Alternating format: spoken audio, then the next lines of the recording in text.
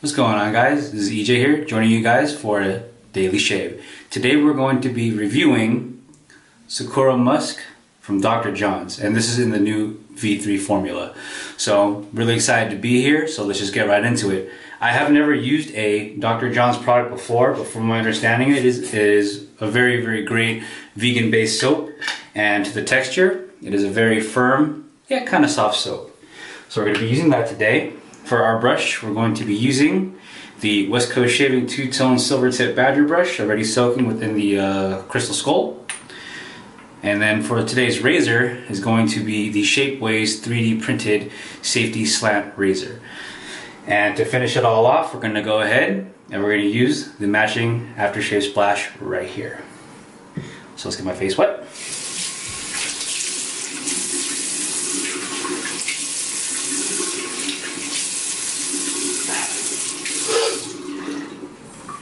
So as I stated, I never used a uh, Dr. Jon's product before.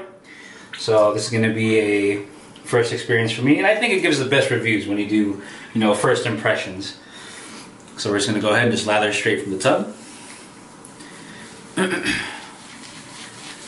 and already I can tell right away the brush is already starting to fill up pretty nicely, but we're just going to go ahead and keep going.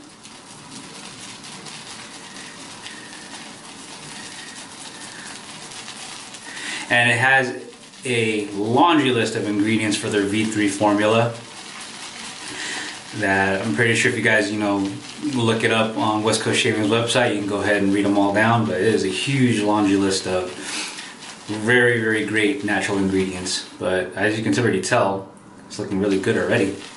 We're just gonna just load up a little bit more, and then we'll get going. And then we'll just add more water as we go along. Because at least for my lather, I like to start off dry and then add water as I go. So I find that nice sheen that I'm looking for.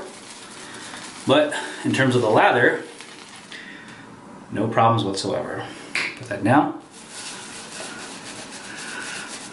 And right away, with the Sakura Musk, it is a cherry forward scent, at least to my nose, with the hint of musk.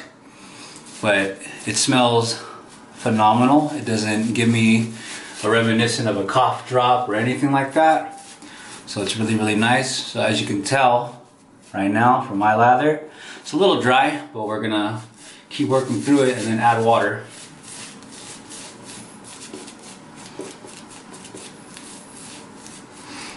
So really excited to be here. You know, giving the shout outs to West Coast Shaving for giving me the opportunity to, you know, do some daily shaves with you guys. So as you can tell, it's, a little dry.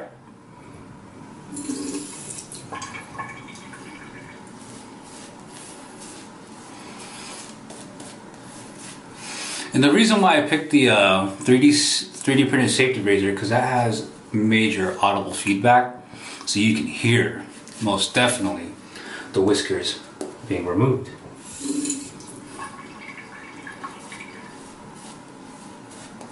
All right, kind of getting there.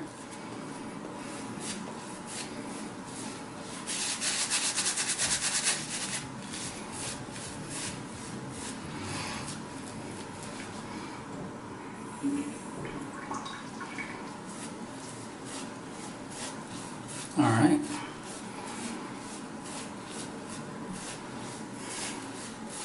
No issues lathering whatsoever.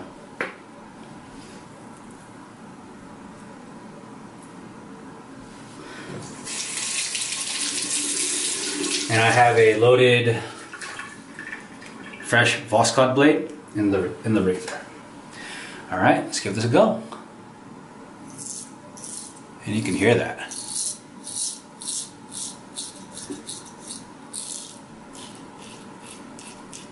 And so far so good.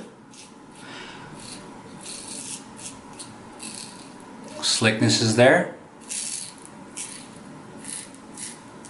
Great cushion.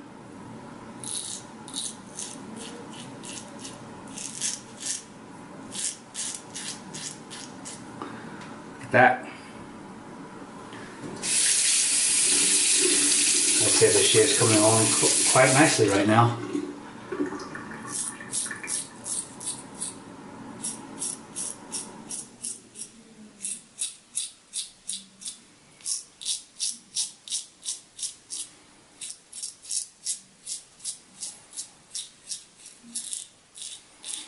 So right away, the soap has no problem whatsoever giving a nice, comfortable shave. At least from my first experience so far, we'll see how the post shave goes, but right now, as I'm about to be lather, as I wet my face, residual slickness is decent. I wouldn't call it elite, but it is decent enough to where you can get, you know, some buffer passes in if you really wanted to. But as I rinsed off my face, the post shave is great. Really, really, really good.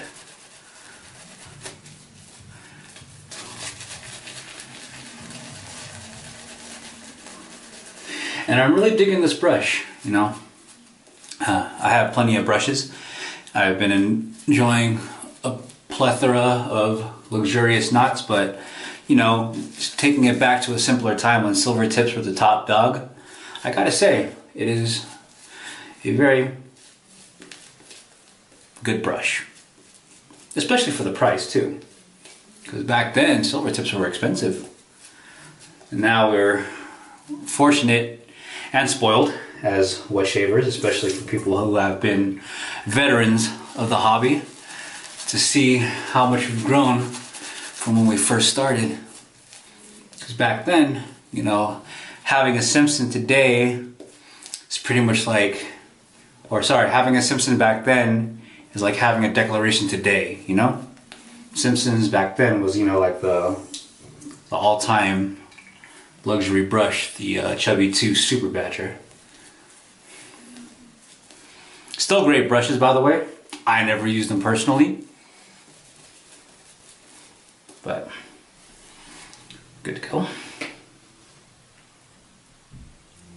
And I'm really digging this cherry scent. It's very, very nice, you know? You wouldn't think, you know, a cherry scented soap wouldn't smell so good, but they really knocked it out of the park with this one.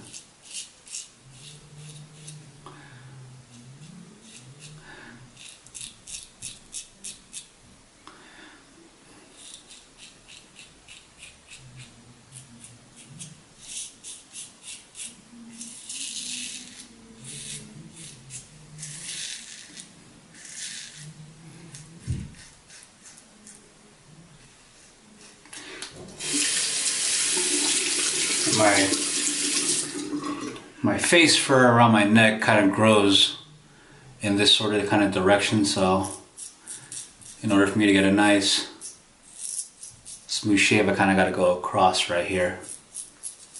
But this is just a second pass but I can tell you right now I'm thoroughly enjoying the shave especially for a first time use for the soap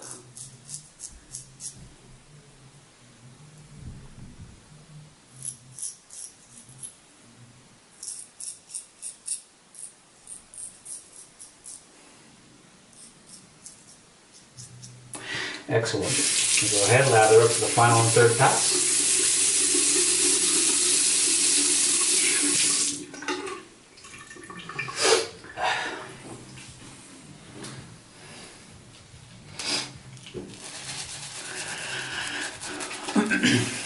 and what I love about the soap, even though I didn't do it so much applying to my face because the brush is retaining some good water, is that it can actually take on water quite well.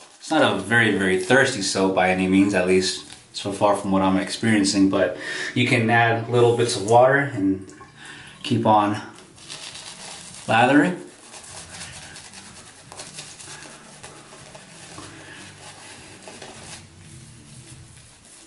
This brush is really great for those who like the painting motion because it has decent backbone, not so much. As you can tell, it has more of a flop to it, but that's okay. It's, it's good for when you want to get that nice even coating when you paint on your lather, you know? You do your circular motions to build it up, Then you smooth it out with your paint strokes.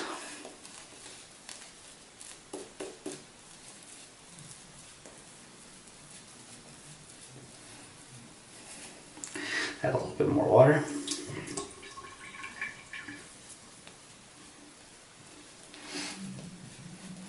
So it's a thin layer of lather for me at least because by my third pass most of the hair is already gone. This is just more or less trying to just get that nice clean glass finish and just have as much slickness as possible.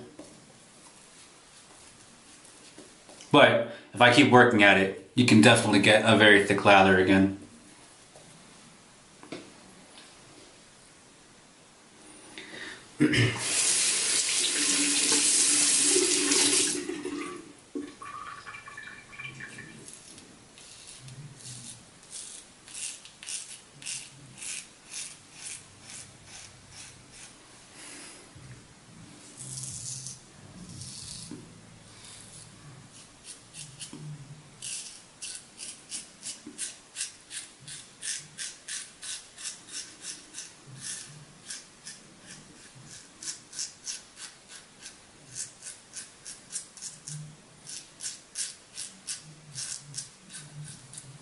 feel around.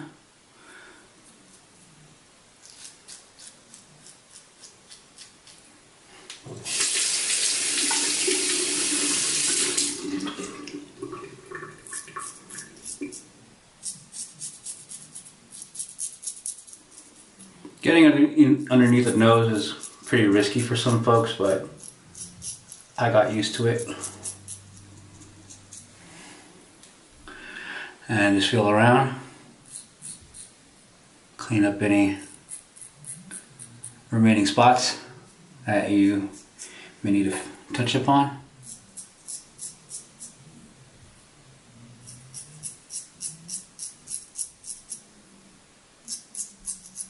Nice, nice, very nice. So, all right.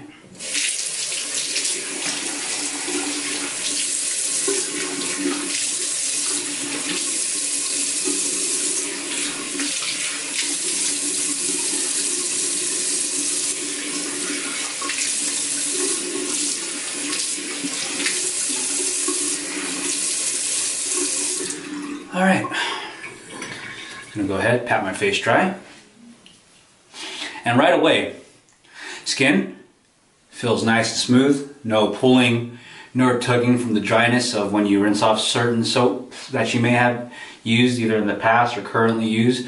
But that's what aftershave is for if that ever does come to it. But as of right now, the there's no tightening of the skin, feels nice, refreshing, very smooth a little supple, not too much, but other than that, pretty damn fine shave. I really can't, yeah, I have no complaints. There's no cuts, no weepers. Yeah, I think that's pretty much it.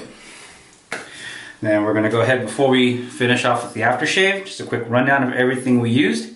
So the highlight of today was West Coast Shavings limited edition Sakura Musk V3. Great stuff. We used our two-tone color silver tip badger brush from West Coast Shaving as well. Excellent brush. The razor today was the Shapeways 3D printed shark bone razor. There you go, that's the name of it. And then we're gonna go ahead and do the splash. Oh, and I forgot, the blade is the uh, Voskhod blade. So right away, in terms of the splash, I get more cherry than anything if there's like no musk in there whatsoever. But that's at least just to my nose. That's what I personally smell. Everyone's smell is entirely different. And rubbing it in your hands, ah, oh, man, it just smells so good. And no sting, no burn, because I believe this is a witch hazel base with some rose water. So you're not going to get that bite that you would from traditional aftershaves. But I can tell you right now, it smells very, very good. All right. Well, that pretty much wraps up my shave. Um, like I said, very happy to be here. Thank you guys for tuning in, and I'll catch you guys next time. Have a good one.